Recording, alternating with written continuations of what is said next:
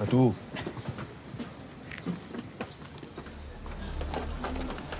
مين ده وليه؟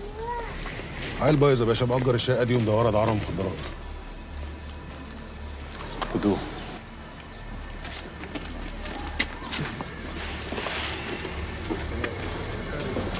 معلش يا وليد.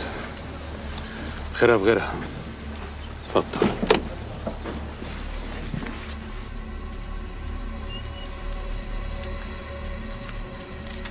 طلعت حمار ياض مش تعمل حصة أو منظر وأنت طالع مش في ناس كبيرة قاعدة. وأنا مالي؟ قوم إيه أنت طالع الأكل. حط الأكل وغور من وشي وروح لأمك. معلش يا استحوده تسلم إيديك يا حموزة يا حبيبي ربنا يخليك يا حبيبي متشكرين.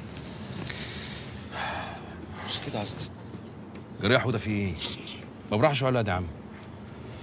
هو يعني عيل غلس شوية بس برضه بيصعب عليا. صعب شغلك غالي يا أبو خليل. ما كانش الواحد يشد على عيل في السن ده يطلع يعمل لنا مصيبة. الشد وحده في السن ده يا استحوده ما ينفعش. لما العيل يكبر لازم كده يعني تصاحبه. إذا كبر ابنك خويه. خلينا في المهم. عرفت حوده هتعمل إيه؟ هخويه يا عم أنا بتكلم على صلاح. وأنا بتكلم على صلاح. طب هتخويه إزاي صلاح؟ مش أنا قلت لك يا باشا؟ أدي آخرة المشي ورا العيال. وإيه اللي حصل يعني؟ بلاغ وطلع في شنك عادي بتحصل. لا يا باشا العيال دي بتشتغلنا. وعمالين يفرهدوا فينا على الفاضي. وزمانهم قاعدين بيضحكوا علينا يا فندم. وهم يعملوا كده ليه بس؟ ما تبطل بقى نظرية المؤامرة اللي واكلة لك دماغك دي. يا فندم مؤامرة إيه بس؟ هو سعادتك مش متضايق من اللي حصل ده ولا إيه؟ لا متضايق طبعا. بس ده لا يمنع إن إحنا نحط اللي حصل ده في حجمه الطبيعي. وإيه بقى حجمه الطبيعي يا فندم؟ ده إيه الغلب ده يا ربي؟ بص يا سي وليد في أي بلد في الدنيا لما بتعمل نشر عن واحد هربان ولا حاجة في ناس كتير جدا بتقدم بلاغات. آه، البلاغات دي في بيبقى منها كتير جدا بيطلع out مش حقيقي يعني. لكن ده لا يمنع إن البلاغات اللي بتطلع out دي ممكن توصلهم لحاجات ما كانوش عاملين حسابهم فيها. اسمح لي بس يا باشا أنا مش فاهم حضرتك بتدافع عن العيال دي ليه؟ لأن العيال دول بمزاجنا أو غصب عننا هم اللي جايين والعيال دول هم اللي هيوصلونا لسليم الأنصاري. النهارده بقى بكره بعده بعد شهر. مهم هم اللي هيوصلونا لسليم الانصاري في الآخر. يا فندم إحنا جالنا بلاغات كتير وكلها طلعت أونطة. أونطة؟ في ضابط محترم بوش سمح زي سعادتك كده يقول أونطة. يا باشا أنا مش قصدي إن أنا باشا إيه بقى؟ أنت خليت فيها باشا. ده إحنا ولا كأننا بنلعب طاولة على القهوة.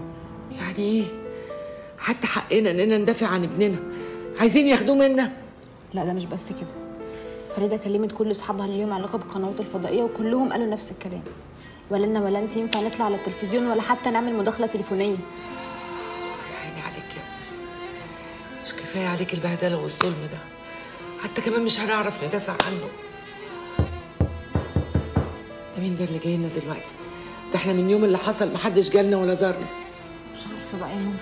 ربنا يستر. مساء الخير. مساء النور اتفضل. مساء الخير يا طنط. أهلا وسهلا أهلا وسهلا. ازي حضرتك؟ حضرتك يعني عجبت سعادتك تميم باشا؟ إيه اللي عجبتني؟ يا راجل ده أنا نفسي كنت ابتديت أصدقك. عارف يا حماد وأنا بتفرج عليك؟ قلت خسارة الراجل ده فرقة الأغلبية. الراجل ده لازم ينضم للمعارضة. لا يا باشا معارضة إيه بس؟ ده أنا من ساعة ما قلت ألف به سياسة وأنا أغلبية. خلاص الناس عرفتني بكده. وهي دي مشكلة؟ تنشق هنشق آه. يبقى اسمك النائب المنشق عن الاغلبيه اسم حلو صح؟ لا يا بيه. أنا ماليش دعوة بالكلام ده. حكاية المنشق دي بقى نبقى نشوف لها حد تاني. انت حر. أنا عايز مصلحتك. يا راجل ده أنت عملت شغل النهارده مع وزير الداخلية. ولا اجعصها معارض أبا عن جد.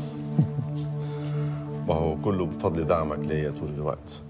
بس أنت عارف بقى يعني أصل كلمة الحق دي ما تفرقش كتير من أغلبية أو معارضة. حماد. سيبك من كلمة الحق والكلام ده. مسخة. دمها تقيل. اوعى تكون فاكر أنا نايم على وداني. قرار الموضوع ده معايا من الأول خالص. لطفي ابو المجد وابنه مشكلته مع الضابط وقوفك معاهم. أنا بس اللي بكبر. لطفي ابو المجد أصله ابن حتتي وأخويا. الكلام ده كمان بلح. أنت لا ليك إخوات ولا وقت الجد يفرق معاك أبوك نفسه. لا حول ولا قوة إلا بالله. ليه كده بس يا باشا؟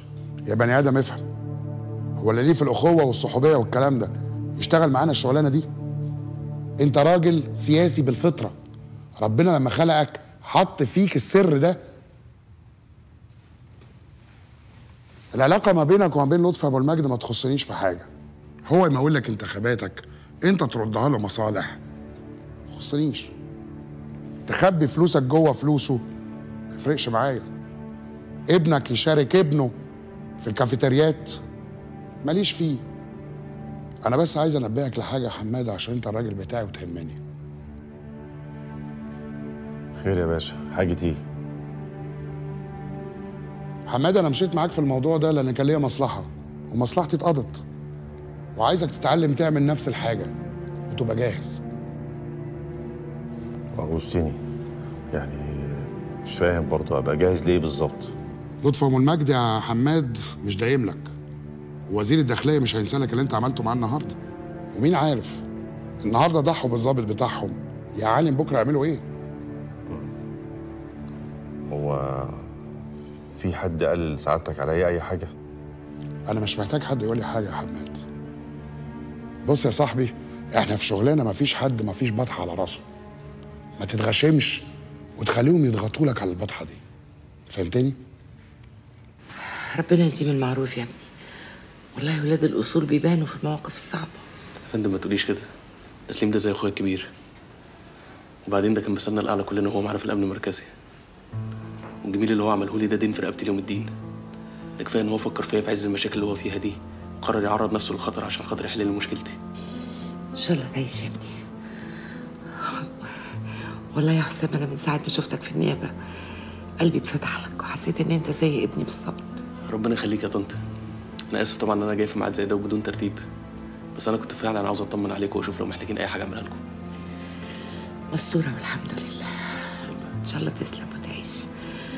إحنا بس مش ناقصنا غير إن ربنا سبحانه وتعالى يزيح عننا الغمة دي. بإذن الله هتتزاح. خلي ثقتكم في الله كبيرة. ربنا كبير. يعني أنت شايف إن سليم بريء يا حسام بيه؟ أنا مش مجرد شايف أنا متأكد. وعلى فكرة أنا قلت الكلام ده لصلاح بيت توخي بس ما عجبوش كلامي خالص. غريب. انت أول واحدة قبله يقول كده. إنس سلمى ربنا عارفه بالعقل محدش شافه. وأنا عاشرت أخوكي وشفته بيعامل الناس إزاي بيعاملني أنا شخصيا إزاي. محدش يصدق إن الراجل ابن الناس ده في يوم وليلة هيتحول يبقى قتال قتلة ومرتشي؟ إن شاء الله تسلم يا ابني. يا فندم سليم لو كان مفتري كان بان عليه. ولو كان مرتشي كان قدامه بدل المرة 10 إنه يعمل فلوس. طب وش معنى مفيش حد منكم بيقول الكلام ده غيرك؟ والله افتكر إن محدش فيهم يعرفه زي ما أنا عارفه. أو ممكن يكون مفيش حد فيهم حقاني زيك ولا إيه؟ يا فندم الدنيا فيها وفيها. بس أنا متأكد إن الحق هيظهر وكل اللي ظلم سليم هيندم في يوم من الأيام. أنا مش هعطلكوا أكتر من كده. أنا عاوز أدي لحضرتك رقم تليفوني عشان لو احتجتوا أي حاجة في أي وقت تكلموني. طبعا يا ابني اتفضل.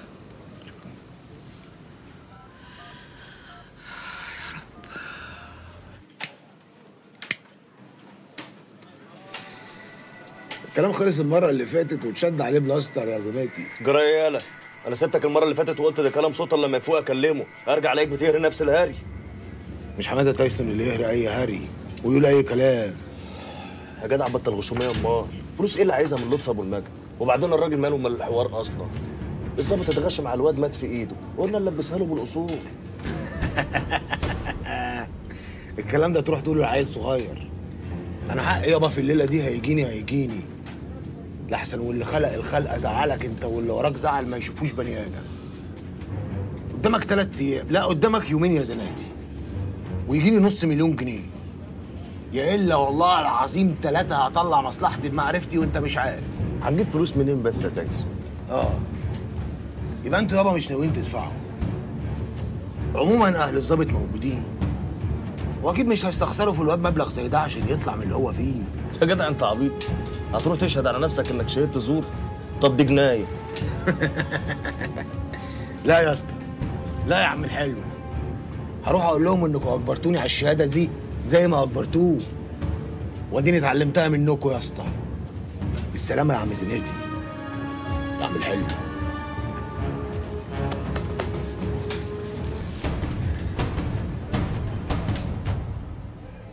يعني إيه الكلام ده؟ أنتوا هتشتغلوني يا ولاد الهرمة. يا حاج اسمعني بقى. بلا حاج بلا سبت إيه؟ أنا قاعد على تل فلوس هغرف واديكوا وأنا مالي بس يا عم الحاج؟ مالك إيه؟ مش انت اللي ملبسنا في المصيبه السوداء دي؟ ليه يا حاج لا مؤاخذة؟ هو أنا لو كنت سايب العربية سكران وخبطت البت الغلبانة سويتها بالاسفلت؟ ولا. سيبك من تليح النسوان ده. ابني غلط ما قلناش حاجة. وبدفع لك عشان نلم الموضوع. إنما ابن سناء بقى والظابط وحواره ده ما يخصنيش يا حبيبي ده شغلك انت. ليه يا حاج وأنا ابن سنه كنت اعرفه منين لا مؤاخذه عشان اذيه؟ مش كله عشانك وعشان ابنك. وأنا اللي قلت لك اقتله ولا أنا اللي قلت لك دخل معانا الديلر المعفن بتاعك ده. يا أخي منك لله. بقى الواد اللي كان بيخاف يعدي في الشارع طول ما أنا واقف فيه. تخليه يجرأ عليا بالشكل ده. منك لله. وحد الله كده بس يا عم الحاج خلينا نعرف نفكر إحنا كلنا في مركب واحدة. لا يا حبيبي. لا يا حبيبي إحنا مش في مركب واحدة موضوع الظابط ده شيلتك أنت. وشهادة تايسون كان عشان ينقذ رقبتك أنت. ما يخصنيش لا أنا ولا ابني. كلامي ده يا حاج؟ اللي أنت سامعه يا اخويا وأنا كنت أعرف منه هيطمع بالشكل ده يا عم الحاج. أنا قلت إنه هيستكفى إنه يجيب مناخير ظابط الأرض وخلاص وتخلص قضيته على كده. برضه ما يخصنيش. طب الفلوس اللي هو عايزها يا حاج؟ ادفع له يا أخويا من جيبك. أنا مالي؟ أنت اللي شبكته معانا. ادفع له منين بس يا حاج؟ ده عايز نص مليون جنيه. نص مليون قرد لما يتنططوا على دماغك انت وهو. انت طلعتوا لي منين؟ صلي على النبي كده بس يا عم الحاج وخلينا نعرف نفكر. الواد ده لو قال لي عقله واتكلم كلنا نروح في 60 داهية. انت بتهددني يا دول إيه والله ما القصد يا عم الحاج ولا بهددك ولا أي حاجة حاشا لله. بس الواد ده لو فتح بقه واتكلم وقال لي عقله كلنا هنروح في 60 داهية ومستخبي هيبان. يعني أنا وأنت وتامر وحماد بيه والمتر نشأت هنروح في 60 داهية. يخرب بيوتكم. الله يخرب بيوتكم على بيت اليوم اللي أنا شفتكم فيه. يا بني آدم افهم. انت طالب مليون جنيه والجاموسة ده طالب نص مليون جنيه. أجيب لكم منين؟ ربنا يجعله عامر يا عم الحاج. عامر إيه؟ عامر إيه؟ واللي ما يعرفش يقول عدس وبعدين اضمن منين أنا ان الواد ده بعد ما اديله الفلوس اللي هو عايزها دي ما يلفش ويرجع يطلب فلوس تاني؟ في دي عندك حق يا حاج. عمري قلت اعدي عليك واقول لك اللي بيحصل اول باول ومن هنا لبكرة خلينا نقلبها في دماغنا. ونتقابل أنا وانت وحماد بيه والمتر نشأت ونشوف هنعمل إيه. وبالمره لما مؤاخذة كده تشوف لي قرشين لأحسن القرشين اللي اداهم للمتر نشأت خلصوا. قرشين؟ وما زناتي وما زناتي مش من هنا قوم يلا قوم. طب بالاذن أنا عم الحاج. داهيه في تلامتك فضلت سعادتك ورا صلاح بيه من بعيد لبعيد كده من غير ما ياخد باله خالص. لحد ما دخل بيته خدت بعضه وجيت على هنا على طول. طب زي الفل. يعني عرفت بيته. من بكرة بقى استلم وهو نازل من البيت. تمام سعادتك. معلش يا حوده أنا عارف ان أنا معطلك عن شغلك بس يعني كلها ثلاث أربع أيام كده الدنيا تظبط. أنا خدامك يا سليم بيه. اللي صحيح يا اسطى حوده مفيش أخبار عن حسن الضبع. بصراحة أبو خليل مفيش جديد بس أنا عندي خبر ألماظ ليك بصراحة يعني. أنا اتقصت في المنطقة عندك من بعيد لبعيد كده وعرفت يعني إن مراتك والولاد بسم الله ما شاء الله يعني زي الفل. حتى أشرف خطيب أختك يعني كان واخد أجازة من الجيش ورجع بالسلامة.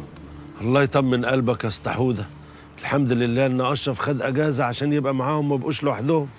الواد ده اصله ابن حلال قوي وطيب والله يا أسطى حوده. واد راجل. ما تقلقش. وقلت لك برضو أنت هتروح تطمن عليهم بنفسك. وتايسون أخباره إيه؟ هو ده الموضوع يا سليم بيه. قول لي. أنا عرفت إن تايسون واقع مع الأمين زناتي بقالهم كام يوم. أصل سعادتك يعني الأمين زناتي بيروح لتايسون في الغرزة اللي بيحشش فيها. ناس بقى من اللي قاعدين معاهم يعني سمعوا كده إن هم اتخانقوا مع بعض. اتخانقوا على إيه؟ سعادتك محدش يعرف أصل الحكاية. بس اللي أنا أقدر أقوله لك يعني إن تايسون بعد ما وصل الامين زناتي بره رجع قعد مع نفس الناس دول وهلفط بالكلام وجاب سيرة الأمين زناتي وسعادتك في الموضوع. جاب سيرتي أنا؟ آه سعادتك يعني بيقول آه، زناتي مين ده اللي أنا أعمل له حساب؟ إذا كان الظابط اللي بيرقص زناتي أنا مسففه التراب ومخليه. كمل. كمل ما تخافش.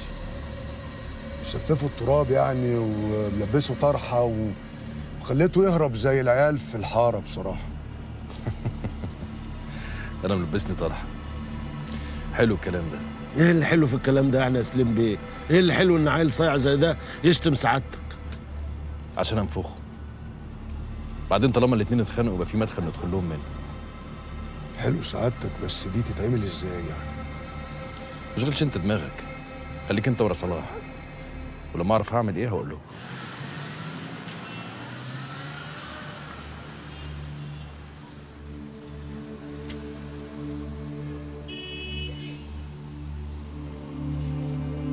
بطل زن بقى. أجل أي كلام في الشغل لحد ما يجي المكتب. أيوه. يا عم اديني فرصة بس أسلم على الولاد قبل ما يسافروا. طيب سلام. مع السلامة. بقى بذمتك. شكلنا كده ما شجعكش إن أنت تيجي معانا. والله كان نفسي حبيبتي. بس آه، عندي شغل كتير جدا. أنتوا روحوا استمتعوا بيومكم عادي جدا وأنا هحاول أخطف يوم وأجي لكم. مش هيحصل طبعا هي دي أول مرة. إيه ده إيه ده؟ إيه اللماضة دي؟ إيه اللماضة دي؟ على فكرة وأنا في سنك ما كنتش في لماضتك دي. أنا كنت زي النسمه صح يا ست اللواء؟ قول له. قول له إنك كنت زي النسمه إيه وأنا صغير بس دي يا بابا. ما أنت لسه صغير أهو. وبعدين يا بابا يا حبيب قلبي أنت نسمة وأنت صغير وأنت كبير. واو شفت ربنا رزقني بإيه؟ بنت نصابة وولد لمض دي مش جيناتنا لا جيناتك ولا جيناتي. دي جينات غادة. بقى كده. قلت يا فاطمة خدي بالك من سيادة اللواء. قعديه أكتر وقت ممكن قدام المية. امم أنا عارف إنك بتحب البحر من زمان من أيام الأفق. ها؟ عينيا يا صلاح بيه. مش عايز مننا حاجة قبل ما نسافر حضرتك؟ لا يلا عشان تلحقوا تستمتعوا بيومكم. وأنا ألحق أروح الشغل. يلا. جرى يا جماعة ما تصلوا بينا على النبي. أنتوا هتخلوا حتة عيل زي ده يوقع بينا ولا إيه؟ قول لهم والنبي يا متر. انت كمان اللي قاعد تتكلم. مش ده جلبك أبو زلاخس لطفي عنده حق يا متر. موضوع كده هيبهوأ مننا ومش هنعرف ننام جرى إيه يا حماد بيه؟ هو في حاجة في مصر ما بتتلمش؟ ده انت سيدي اللي عارفين بس برضه لازم نلم الموضوع بدري بدري. قلت يا زناتي. اللي تشوفه يا متر وأنا من امبارح مش ساكت عمال ادور لها على حل. بعد ما دورت عملت إيه يا برم محلوله يا حاج بس لا مؤاخذه هتصرف شوية. لا انت بتحلم. أنا مش هصرف أكتر من كده. ومين جاب سيرت أكتر من كده بس يا حاج؟ انت مش تصرف ولا مليم زيادة. أنا لا مؤاخذه متفق على مليون جنيه وصلني مئة ألف. كملهم لي نص والنص التاني لما أجيب لك الخبر اللي يطمن قلبك. ويعني هتعمل إيه أكتر من اللي انت عملته؟ سكة أبو زيد كلها مسالك يا باشا. وأنا عيل زي تايسون ده أعرف أسكته إزاي؟ قلت إيه يا حاج؟ قلت لا إله إلا الله. تمام يا حوده. وقف مراقبة صلاح الطوخ أنا عرفت اللي أنا عايز أعرفه. عرفت إيه يا باشا؟ هو لسه الراجل قال حاجة؟ إيه يا هيك؟ ما قلت لك عرفت اللي أنا عايز أعرفه. خلينا بقى في اللي بعده. خير سعادتك. أنا في مشوار لازم أعمله. مشوار مش سهل محتاجكوا فيه معايا. ولا يهمك يا باشا إحنا معاك في أي حاجة. رقبت يا سليم بيه بس لا مؤاخذة سعادتك يعني المشوار ده فين وديني الغرزة اللي بيقعد فيها حمادة تايسون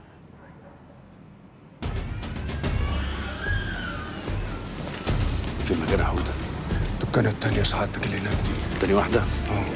وإحنا عارفين إن هو جوه ده الباب مقفول ومفيش حس. أيوه سعادتك هو لازم يجي لوحده بيقعد مع نفسه يشرب مخدرات كده يظبط دماغه. وبعدين الصبيان بتوعه بيجوا واحد ورا التاني لحد ما يتجمعوا. يجوا بقى نور بعد نص الليل قرب الفجر ويقفلوا على نفسهم الباب. طب راجع نفسك يا استحود إحنا مش ناقصين مصايب كفاية المصيبة اللي إحنا جايين بس يا عم. أنت بقى بس. عايزين نلحق ناخد منه كلمتين ونطير قبل ما الدنيا تتلم علينا.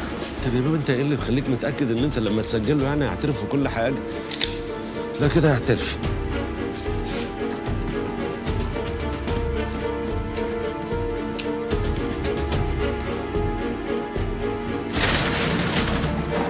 يا نهار اسود ومنيل ب 60 نيلة. يا نهار اسود. إنا لله وإنا إليه راجعون. الواد مات. ما لحقناهوش. عشان خاطر لازم نمشي من هنا. الحوار كله هوا. يلا. استنى يا حوده.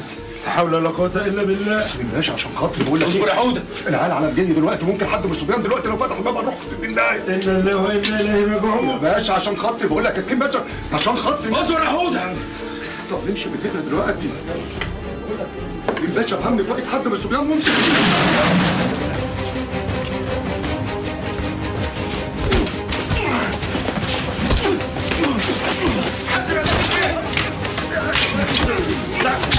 عيب على دقنك عيب على دقنك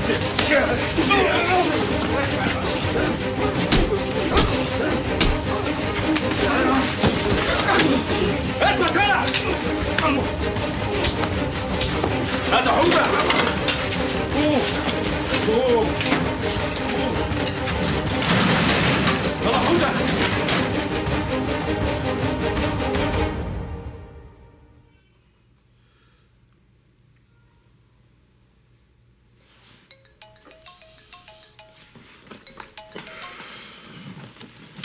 ألو. يا وليد. إمتى حصل الكلام ده؟ المكان ده فين؟ طيب أنا جاي حالا. السلام. يا دي المصيبة السوداء. يا دي المصيبة السوداء. هو إحنا ناقصين مصايب يا رب. ما تهدى شوية يا أبو خليل يا أخي. استغفر الله العظيم يا رب. خلاص بقى اللي حصل حصل. المشكلة دلوقتي في الخيط اللي كنا ماشيين وراه اتقطع. كده هنبدأ من أول وجديد تاني. يا دي الخيوط اللي إحنا عمالين نمشي وراها يا سليم بيه. يا باشا انت مستهون بالموضوع كده ليه؟ دي جناية. بقى يا رب يا رب يوم ما نوصل للواد اللي هنعرف منه حاجة ونقرره. قوم يموت. ده إيه الحظ المنيل ده؟ ده مش حظ يا إبراهيم تايسون مات عشان كان لازم يخلصوا منه عشان بقى خطر عليهم. طز سعادتك هم اللي موتوه. آه. هم يا حوده اللي موتوه. اديني لبست مصيبة تانية كمان.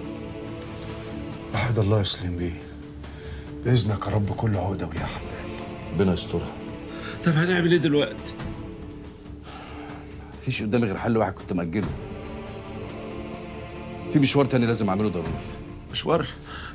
مشوار إيه تاني يا سليم بيه؟ تخافش يا إبراهيم. المشوار ده أعمله لوحدي. كفاية عليكم أنتوا الاتنين مشاكل لحد كده. اسمعني يا سليم بيه لا مؤاخذة يعني أنا وإبراهيم رجالتك ومعاك على الموت كمان. بس لا مؤاخذة يعني لازم تكلني شوية. مفيش وقت نكرنا يا حودة خلاص. زمان دايرة الاسم مقلوبة. تشوفوا سعادتك.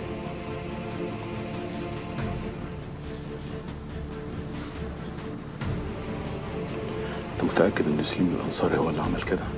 آه يا باشا. اهدى اهدى وركز بس. ولا تحب أجيب لك صورة عشان تتأكد. لا يا باشا أنا أنا عارف شكله.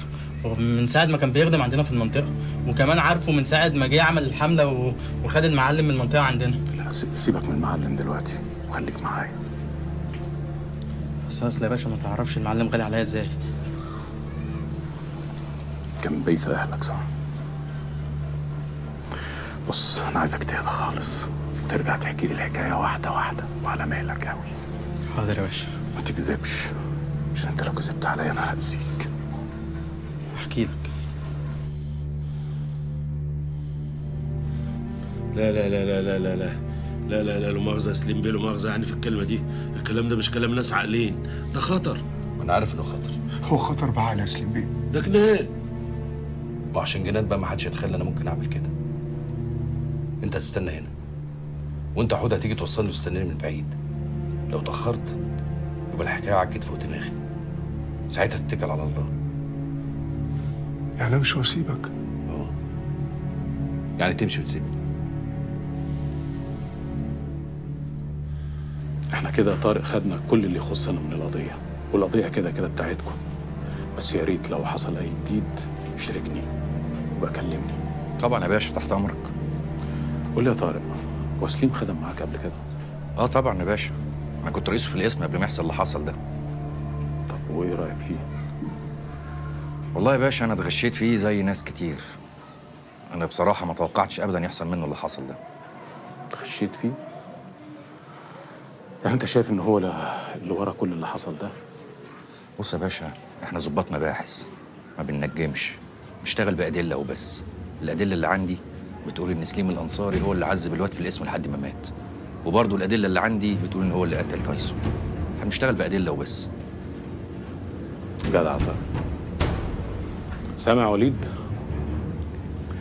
أنا هروح البيت أريح ساعتين كده عشان مجهد قوي. بس يا ريت لو في جديد. أكيد يا باشا طبعا. حسابك تقيل معايا قوي يا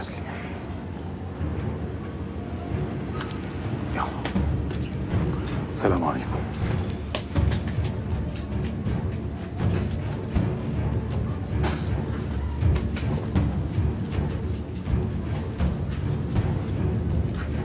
الله أكبر الله أكبر. والعزة والجلال لرب العالمين. يا رب يا رب استرها علينا بحق ده الأذان يا رب. استرها علينا وفك كربنا. أنت اللي قادر تشيل الظلم عن المظلومين. استرها معانا. يا رب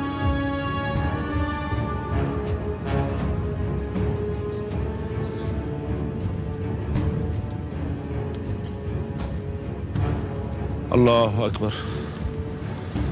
أعوذ بالله من الشيطان الرجيم. بسم الله الرحمن الرحيم. الحمد لله رب العالمين. الرحمن الرحيم. مالك يوم الدين. إياك نعبد وإياك نستعين. اهدنا الصراط المستقيم. صراط الذين أنعمت عليهم غير المغضوب عليهم ولا الضالين. آمين.